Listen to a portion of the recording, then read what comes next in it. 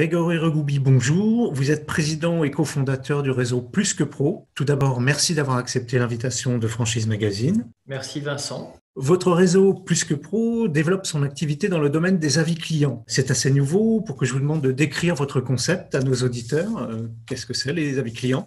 C'est plusieurs choses concernant plus que pro. Oui, c'est bien évidemment euh, l'avis client. Donc l'objectif, c'est de faire rentrer, de sélectionner les meilleures entreprises de France pour permettre aux consommateurs de choisir, de sélectionner la bonne entreprise euh, sans avoir la peur de se tromper et sans avoir la peur, la crainte de transformer un rêve en cauchemar si jamais il venait à se tromper d'entreprise. Quel est précisément le métier de vos affiliés? Bien évidemment, si on reprend, pour quand même être précis et complet, si on reprend la mission de Plus que Pro, à savoir faire rentrer les professionnels dans un monde de preuves, parce que je pense que c'est important de le rappeler, de le repréciser. Le problème d'aujourd'hui, c'est que le consommateur, il est lassé, il est blasé de toutes les promesses qui lui ont été faites et qui sont non tenues. Donc, bien évidemment, on explique aux professionnels qui ont un savoir-faire qu'il est important de le faire savoir, mais non pas par des promesses, par des preuves. Et aujourd'hui, la seule preuve valable, c'est celle du retour d'un consommateur qui a pu utiliser, constater le savoir-faire de cette entreprise. Donc concrètement, pour répondre à cette question, la mission de nos partenaires est de sélectionner, puisque nous ne référençons que 40% des meilleures entreprises de France, n'est pas plus que pro qui veut, nous sélectionnons sur la base du chiffre d'affaires, de l'antériorité, du savoir-faire, de l'amour du travail bien fait et enfin, je réponds à la question, Vincent. Ben, l'objectif de notre partenaire, c'est de sélectionner, d'aller à la rencontre de ces entreprises pour faire le pont entre les meilleures entreprises de sa région et les consommateurs qui veulent acheter, mais qui ne savent pas forcément où. Et quel profil doit avoir un candidat pour rejoindre votre réseau? Alors lui aussi, c'est avant tout un amoureux, bien évidemment, de la preuve, c'est un amoureux du digital, c'est un commerçant, c'est quelqu'un qui aime les nobles causes, parce qu'il faut aimer défendre les consommateurs, il faut aimer accompagner les dirigeants, il faut bien évidemment aimer le monde du service, euh, et il faut être bien évidemment, comme tout entrepreneur, il faut être passionné, parce que souvent la, la raison vous arrête bien avant la réussite, et c'est la passion qui vous donne cette capacité à continuer au-delà de tout et qui vous permet d'accéder à cette réussite. Est-ce que la crise du Covid-19 a eu une influence sur l'activité de vos partenaires?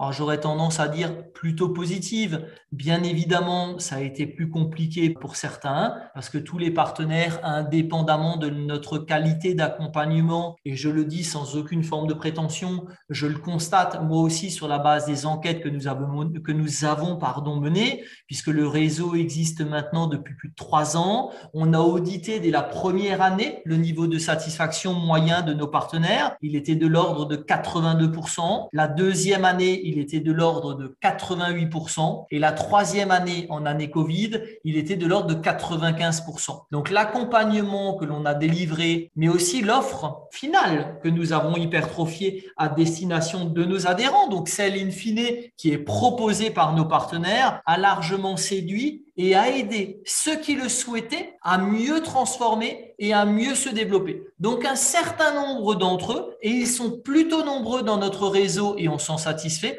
ont transformé le pépin en pépite. D'autres, rares, heureusement, ont estimé que la marche était un peu trop haute et ont peut-être eu, euh, j'irais, peur de, de l'exercice avant même que l'exercice ait eu lieu, mais on parle bien de cas isolés. Et quelles dispositions particulières vous avez prises dans ce contexte pour accompagner vos partenaires?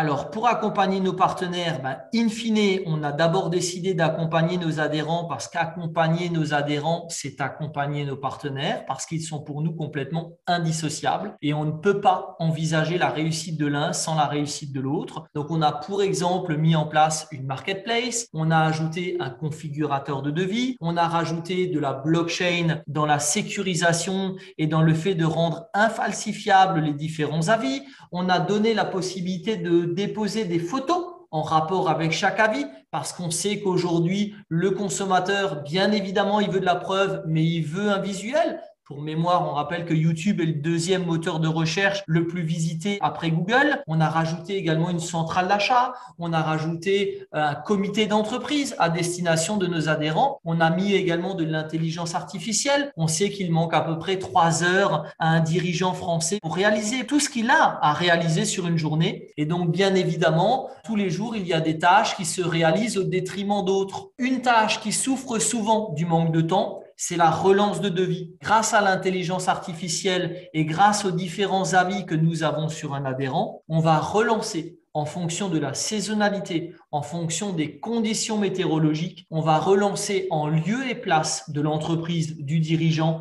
les devis grâce à des scénarios prédéfinis. Donc on est au départ, et c'était l'un des sujets de notre discussion, on est au départ bien évidemment une solution d'avis client, on est également un réseau, on référence les meilleures entreprises de France, mais in fine, on est bien plus que ça. On est également un écosystème digital où on considère que la réponse doit être une réponse globale. Parce que si c'est simplement pour avoir une bonne note, pour l'afficher, mais que malheureusement personne ne le voit, ça ne suffit pas. Alors bien évidemment, on pourrait se satisfaire de nos 20 millions d'internautes qui viennent chaque année euh, dans l'écosystème plus que pro, mais ça ne suffit pas. On ne peut pas se satisfaire de ça. Et donc cette attitude, celle que je suis en train effectivement de vous décrire, c'est celle qui nous a permis d'accompagner in fine les adhérents, mais aussi les partenaires parce qu'on a fait un management d'hyper-proximité, on a mis en place des formations complémentaires, on en a profité pour utiliser le temps de confinement à bon escient,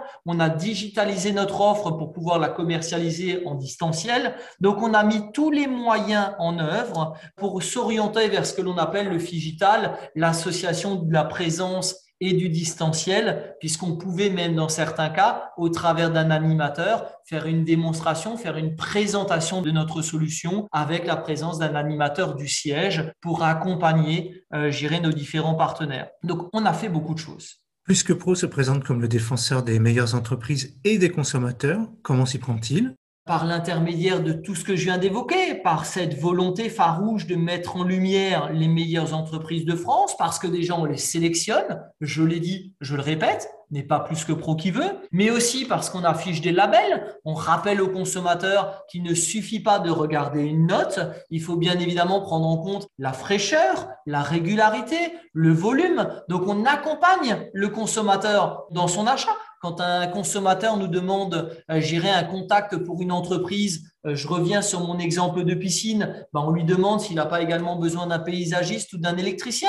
Donc on cherche à être une conciergerie haut de gamme pour le consommateur. On cherche à être proactif dans notre accompagnement pour qu'il puisse se libérer dans son achat et retrouver le plaisir dont je parle souvent parce que le consommateur a envie de consommer, mais seulement dans de bonnes conditions. Et les meilleures entreprises de France on a affaire à des entreprises qui ont souvent de l'or dans les mains, mais qui ne savent pas le faire comprendre, qui ne savent pas l'expliquer. Et on ne peut plus dire venez chez moi, je suis le meilleur, parce que même les moins bons utilisent les mêmes arguments. Donc on ne se différencie plus par un argumentaire, mais bien par la preuve. Et nous disons chez Plus que Pro, et nous l'affirmons depuis un certain temps, la preuve est la monnaie du 21e siècle.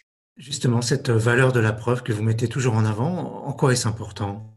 C'est pas important, c'est capital. Parce qu'aujourd'hui, si j'ai pas de preuves, si je ne suis pas dans une démarche factuelle, les moins bons utilisant les mêmes arguments que les bons, comment moi, consommateur, comment Vincent, vous pourriez choisir la bonne entreprise si vous n'avez aucun retour factuel? Vous allez voir sur un site internet des photos d'illustration, vous allez voir et vous allez y découvrir des gens passionnés, mais si vous n'avez pas le retour des gens qui ont véritablement consommé ce service, comment pouvez-vous vous assurer? Que vous allez bien investir l'argent qui est le vôtre, celui où vous vous êtes donné du mal pour effectivement le gagner parce que on ne gagne pas l'argent facilement. On le sait tous, il manque selon une enquête Cofidis à peu près 450 euros par mois à un foyer moyen pour vivre confortablement. Mais quand il manque de l'argent à un consommateur, comment pourrait-il encore avoir le luxe de se tromper?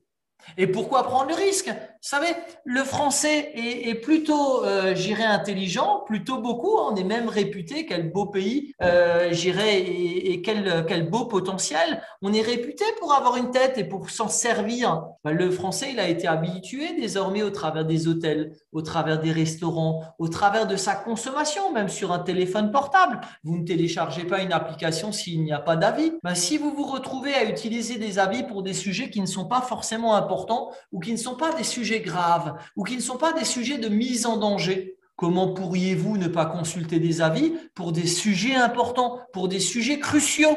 Comment cela pourrait-il être envisageable? Quels sont vos projets pour Plus que Pro pour les mois qui viennent?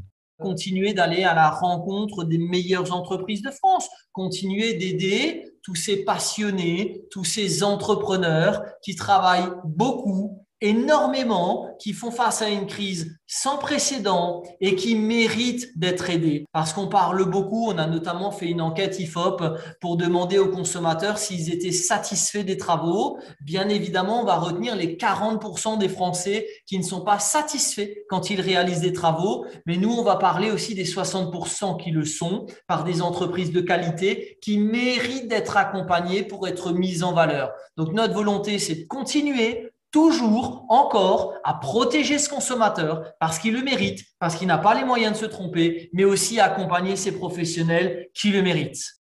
Grégory Regoubi, je vous remercie. Je rappelle que vous êtes président et cofondateur du réseau Plus que Pro et que votre actualité est à retrouver notamment sur Franchise Magazine et AC Franchise. Merci beaucoup Vincent. À très bientôt.